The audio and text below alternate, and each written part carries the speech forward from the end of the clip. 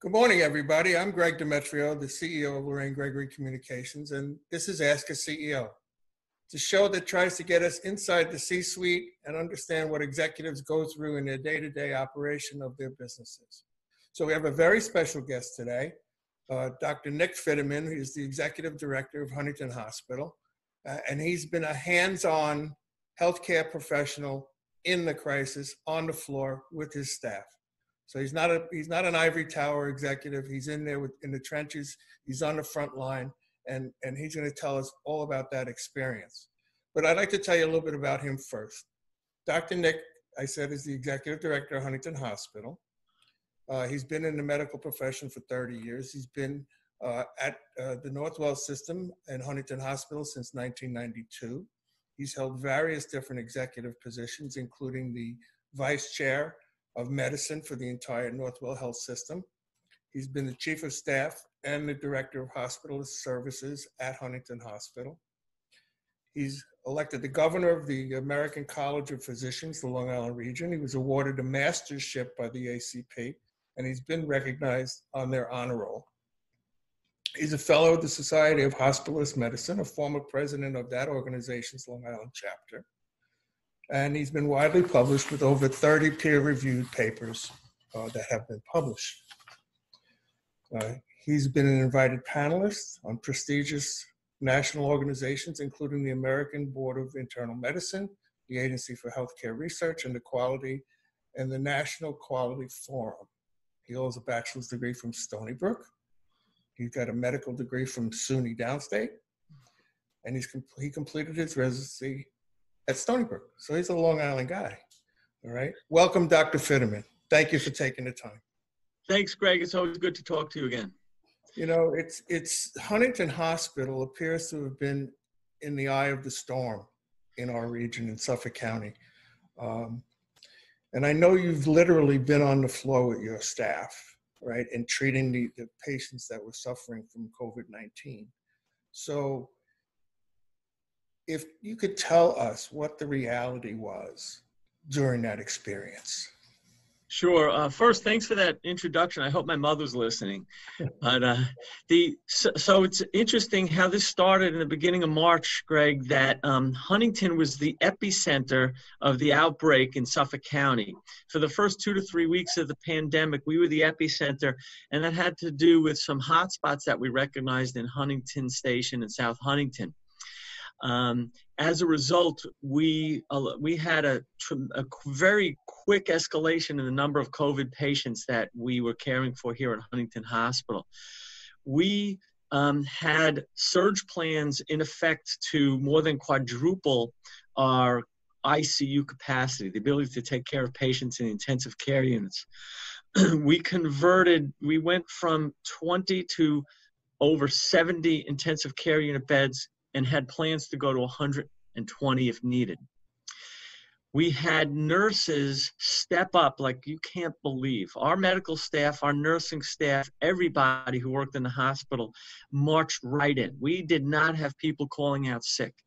They marched right in and to take care of these these acutely ill patients and the nurses had a higher volume of patients and they had higher acuity. So we had patients on our general medical floors that normally we would put in an intensive care unit. Uh, and they were rendering care on the floors and doing a great job. But um, make no mistake about it, it was um, it was humbling and it was challenging. And you were actually on the floor with staff treating the patients, yes? I did. I, I, had to oversee the command center, which was running 24 7. I, I still see patients one week a month. I block out to see patients. So for the first month of the uh, pandemic, I couldn't do that because I was overseeing the command center. Uh, but as the volume started to go down, I was able to put my white coat on and get back up, get back on the floors. I'm sure you were welcomed. I'm sure you were welcome. So we heard an awful lot from the beginning of the pandemic in terms of healthcare, the lack of personal protection equipment. Was that the reality that it was so short? I mean, you've heard conflicting things that people had plenty, they didn't have enough. What was what was your experience? So our experience was different from other health systems, and we're very fortunate here at Huntington Hospital to be part of the Northwell Health System. And the Northwell system was prepared for this. They started planning for this in early January. They revved up their supply chains. And at Huntington and at all Northwell sites, we were never lacking for want of PPE or ventilators. Yeah. That is not, that cannot be said for uh, other health systems, even here on Long Island, where I, I, know personally I've spoken to physicians and nurses in the other health systems that were indeed lacking for PPE, uh, were worried about supply of ventilators. Mm. So now that the numbers have started to crest a bit, you have enough supply of PPE, but can you handicap the performance that you experienced in, during the height of the crisis in your hospital? Just give us a give us a, a flavor of you know, did you guys get an A plus? Did you get a, an A minus? Where were we in that scope of performance? Yeah, I, I, would I would give the team here. Of course, I'm going to be biased, but I'm, I'm, I'm also I'm also my own biggest critic, always looking to get better. And I would give the team here an A plus, Greg. They did an unbelievable job. Um, if I walked you through this hospital at the peak of the pandemic on April 6th, we peaked here where we had quadrupled our ICU census. The number of patients we had on vents were five times the usual number of patients we have on vents. Um, that there was no chaos. There was no craziness. If you walk through the halls of the hospital, you would have thought this was standard operating procedure, unlike and just like every other day, with the exception that everyone had masks on and and and more PPE than usual. That was um, my next my next question. What was the burden of the doctors and the nurses in term as opposed to day to day operations? How different was it? It was very it was very different. They they had to they they had more patients and the patients were of much higher acuity. So what we did is we innovated on the fly. We created staffing pyramids where we leveraged the expertise of a critical care nurse or of a hospitalist or a critical care physician by supplying by by supplying them with other healthcare providers who would have otherwise have been inactive during this pandemic. Recall there was no elective surgery going on. So we had surgeons that weren't operating. We had OR nurses and, and ambulatory surgery unit nurses that weren't weren't working. Right. What we did was we repurposed them to help support the doctors and nurses on the front lines. So where a typical um, doc may have taken care of 15 patients in a day, they now were able to oversee the care of 30. So that that uh, that innovation on the fly is one of the reasons I give the team an A plus. Terrific. So um, the burden that they shared amongst themselves with the critically sick people, the number of deaths they experienced, that's a pretty big trauma for anybody. It's not something they experience in their day to day. Of course, there's deaths in the medical profession and the healthcare profession, but nothing at this scale. So, my concern is that many of them are going to need to have somebody to talk to because it's such an overburdening thing. I mean, you know, thank you God, I, I survived PTSD, but I know what it's all about. You can't unsee what you've seen. So, is there any plans involved to to help the staff? Yeah, you know, you're spot on, Greg. The amount of death and suffering that staff witnessed here was unlike anything we've seen before. For for your listeners to know, this is not the flu. This is much more deadly than the flu and staff here were surrounded by it. And recall there were no visitation uh, um, uh, rights at this time. By an executive order by our governor, visitors were not allowed, and for good reason. That was to protect our staff, the patients that were here, as well as the public. So very often we had we had at, we at peak we were doing 50 virtual visits per day where staff would hold an iPad up for the sick patients here to communicate with their loved ones, and many times that included a final goodbye. So staff were, uh, you know, were really up to their necks in these emotionally saturated visits, and yes, it's taken it, it takes a toll on you. So we have an employee assistance program on site three days a week. We've set up a tranquility tent outside that's been going for a month now where we have music, we have refreshments, and we have people from, uh, from the EAP to come talk to our staff. Um, we have about another half a dozen such programs where staff can seek help either as a group or individually, including a relaxation room. And we even set up, we even converted one of our conference rooms during the peak of the pandemic and used our physical therapists to provide muscle relaxation and massages. Oh, wow. Wow. Good. That's that's good. They're going to need all of that going forward. I think.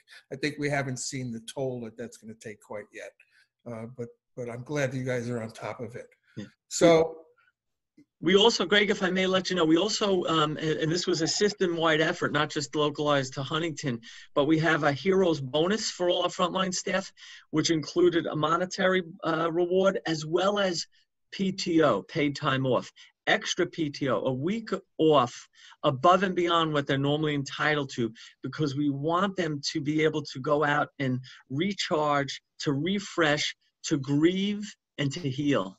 Wow, that's that's wonderful. That's that's a very very thoughtful plan and something I think that they'll all deserve and and and and be grateful for. So you went through the crucible, all right. You you've come out the other side now. What what are the really solid lessons that you learned during this process as the executive running that the hospital? Yeah, we, we learned a lot. We we learned uh, there were a lot of things we learned, and I break it up into operationally and clinically. This virus was as humbling as it was challenging to treat. On the clinical side, we learned it does not just affect the lungs, it affects the heart, it affects the kidneys, it affects the nervous system, it causes blood clots. And we've uh, learned a great deal. We here at Northwell are in the epicenter of the epicenter. And uh, we are leading the way. And when I say we, I mean the collective we here, not just Huntington in terms of research and publication on how to treat the disease. On the operations side here in, in, Huntington Hospital, there are a lot of things we learned, a lot of things we did that made us much more efficient. And many of those, those things we're going to continue doing. And it also helped us shake loose a lot of inefficiencies out of necessity. It really accelerated change that we've been trying to accomplish here over the last year and a half. Um, so, you know, that old saying, never let a crisis go unwasted, we, we, we won't. That's not usually the way it's taken, but your point, right. but your point is well taken. Hmm. Don't let a good crisis go to waste. Um, but so, because of that, do you think that hospital operations in general, across the board, are going to be changed going forward? Absolutely, but there will there will never be going back to the way things were. There is now a new normal, just like there was a new normal after 9/11. No one ever heard of uh, of um, some of the things that we do before 9/11, and uh, things will not be the same after COVID because COVID is not going away. We have created pathways here now that will ensure the safety of anyone who needs to come to the hospital. One of the concerns is there has been an uptick in out of hospital arrests, cardiac arrests. We see people arriving for stroke care beyond the window in which we could treat them effectively because they're afraid to come to the hospital. Somewhere along the line, the message got twisted. The message not to come to the hospital during the pandemic was because we needed all the beds and all the staff to take care of COVID patients. But how it's been interpreted is don't come to the hospital because you might catch COVID. And that's not the case. We have pathways, safe pathways created such that patients that come in electively or for non COVID related illness will never cross paths with COVID positive patients. And we even have staff separate on COVID units and non COVID units. So we won't have the same environmental workers or nursing assistants crossing over from one unit to another. That's important information because people were shy of showing up. So yeah. now that things seem to be opening up again, you're able to start doing some elective procedures and so forth. Can you tell us about what the public should know in terms of coming to you? Yeah. The public should know that we've created these safe pathways, that they're more likely to catch COVID out in the community than they are here. And we have data to back that up. You know, our nursing assistants, our nurses, our medical staff here, we tested them all. We tested almost all 2,000 employees here with serologic testing to see who made antibodies to COVID, which would mean they had the disease. Because remember, over 80% of patients that get this don't even know they had it or they had something very minor. Yes. And what we found is the percentage of staff here that have positive antibodies is lower than what's happening in the community. Lower. And think about that. They're surrounded, they were surrounded by COVID every day for two straight months. Exactly. You guys were in the crucible and you came out in, in almost like in a better situation than people who weren't. Our our critical care nurses, Greg, they they were taking care of the sickest of the sick the, the critical care units were filled, totally filled with COVID patients. 9% of them have antibodies to COVID. That's compared to 14 to 15% out in the community, 25% out in the city. So that tells us two things. One, PPE works, personal protective equipment. And that two, the pathways we've set up here to protect patients and non COVID patients and our staff absolutely work. Dr. Nick, I think you get an A plus, quite frankly, because what you guys pulled off was miraculous in, in, in just the operational side. Forget about the clinical side, just being able to service that many people and provide care for them. But the fact that your statistics show the job that you did, it, it just warrants praise. And, and, and, and I hope you take it from whence it came, I'm just a lowly community guy. I'm in your community, but I'm so glad you guys are there and I'm so glad you're running the ship. So now, without keeping you here all day long, I know you're a busy guy, but I do have a question that I've been asking all of my guests. In your vision of what's coming, A, when do you see the company, the country reopening? And B, what do you think that new abnormal is going to look like, or when we get to someplace that we would think is normal? I think we're seeing the fact that we the governor gave us permission to start doing elective surgery here is, in Suffolk County is testimony that uh, we're getting a handle on this. We're on the downslope of the of this curve that we're flattening. Um, I think as long as the public continues to do what they do, and, and by the way, I have to thank the public. This was not something that we could have treated our way out of without the support of the public. And everyone out there that's wearing a mask, that is obeying social distancing, that's why we're succeeding right now, in addition to the healthcare being provided here. But we could not have done it without that support. So as the summer comes, as, as restrictions start to loosen up, if we get too complacent, we will see a surge. It's happened in France, it's happened in China, it's happened in Singapore. And if we get complacent, we will see a bump up and the country will not open up for mo- many more months. So if we continue to obey social distancing, I could see us really being opening up by June, end of June. Um, but it'll look different. It'll look different. There'll be social distancing will remain part of that. Um, the new norm will be social distancing, and it won't get back to close to what you and I remember as normal until there is herd immunity and effective vaccination, and we're probably six to 12 months away from that. Yeah, I hope the I hope the uh, ambitious tests that were revealed the other day are successful, and we can uh, narrow that timeline a bit to vaccine, because I think that's the answer. We have to get that, like you said, herd immunity and vaccine and then we can go back to our daily routines, what we know is normal, because this is abnormal. This social, we're not, people are supposed to be with people, supposed to be, I'm a gregarious guy. We, we kiss and we hug and everything else. And that is yeah. sorely missed. I haven't had a kiss from one of my kids in how, forever long. It's almost like, forget. So those are the things that we need to get back to. And I think, quite frankly, you're correct. If we're cautious, if we do what's smart and we don't throw it under the bus and say, I'm doing this anyway, if we do that united as a community, as a country, we'll get through this. It's going to take time. But we just need to look at where we were before this all started and make that our goal to get back to that in good health and and and well you, you got to recognize the people that we lost it's just tragic and and the numbers are just scary.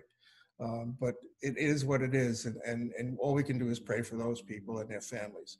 But going forward i think we need to get together and, and not um, be divisive in our mindsets. And these rules came down from from people with good intent. Whether we agree with them entirely or not we should follow them all right? Because that's what's going to get us through so i really really really appreciate your time i want to thank you for your service to huntington and the community and the hospital uh, the fact and your staff and please uh, relay that to the staff uh, we Will do. very much for their service and we thank you for sitting down with us today thank you dr nick Thank you, Greg. Stay safe. you too